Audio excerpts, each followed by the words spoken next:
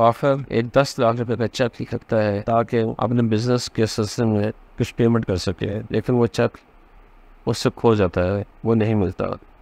वो समझता है तो चोरी हो गया है, वो उसे बोर्ड ढूंढता है। लेकिन जब तलाशी होता है तो हबीब के दराज से वो चेक निकलता है। तब उसे पता चलता है कि हबीब ने वो चेक चोरी किया है, वो फ़ौरन कर जाता है और हबीब से जाकर कहता है कि मैं सोच नहीं सकता था कि आप इस हद तक बिगड़ जाएँगे। पहले आपने कारोबार पर कब्जा करने की कोशिश की, वो नाकाम हुआ तो आप, आपने मैं दस लाख रुपए का चेक चोरी कर लिया। मुझे नहीं मैं सोच नहीं सकता था कि आप जिससे शादी करके चोर में बन जाएँगे। उधर हबीब गुस्से में आ जाता है। हबीब की दूसरी बीवी उसका दफ़ा करती है। वो कहती है कि मैं ये बर्दाश्त नहीं कर सकती कि कोई हबीब पर वो नहीं उठाए। मैं तुम तुम्हें बड़ी मुश्किल से बर्दाश्त कर रही हूँ।